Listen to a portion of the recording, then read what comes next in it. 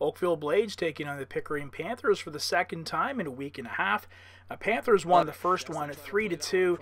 Not a very inspiring win. This one very much different. Great pass from Aaron Jessley to set up Ryan Johnstone. That was a big time play off and running at 1 0.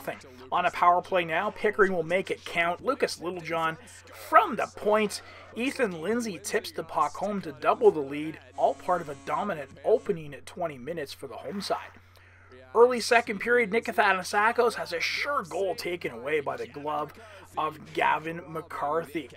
Littlejohn on the attack again has a shot blocked. The follow up, almost an own goal as he looked to set up Jessley.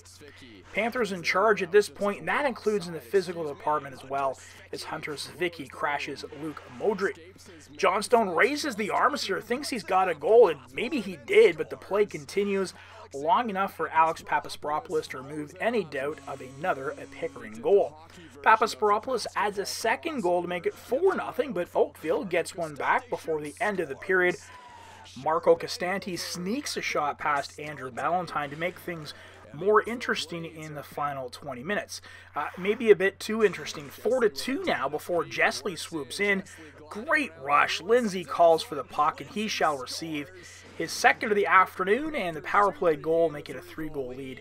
Uh, once again, Pickering will need every goal they get. Just after Lindsay popped his second, so too does Jacob Crisp here as he goes up and over the shoulder of Andrew Ballantyne. Panthers have a reply in this high scoring game. Liam Walsh, a seeing eye pass for Ethan Toms. Nice touch to bury that pass in a flash. Not long after, Toms was hit from behind. Cale Cavlin, he's not going to allow that to stand. He goes toe to toe with Jack Churchill. Both players landing solid shots. And the takedown here, and Papasporopoulos gets involved once again. He's going to go out with Matthew Wang, and he would also get the gate, but uh, points at the scoreboard on the way out of this one. By the time this was all said and done, the Panthers take it by a score of 6 to 4 on the heels of a less than stellar game against Brantford that saw the 99ers hold Pickering to a tie. And according to D-Man Hunter Savicki, that really helped energize the Panthers for this game. In all honesty, I think it was yesterday's practice. We came out yesterday during practice. Everything was smooth. Everything was high intensity. Um, especially coming after our last game, our last home game, tying Brantford. I think we wanted to kind of send a message saying that that wasn't our best game, and we're here to play and get ready into playoffs.